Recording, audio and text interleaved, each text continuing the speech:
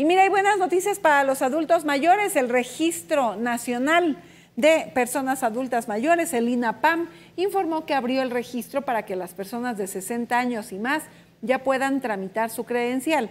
Esta es una identificación oficial válida con un sistema en línea enlazado con el Registro Nacional de Población, además de que cuenta con un sello digital que comprueba su autenticidad y permite a las personas adultas mayores acceder a beneficios y descuentos en servicios y compras en diferentes establecimientos comerciales.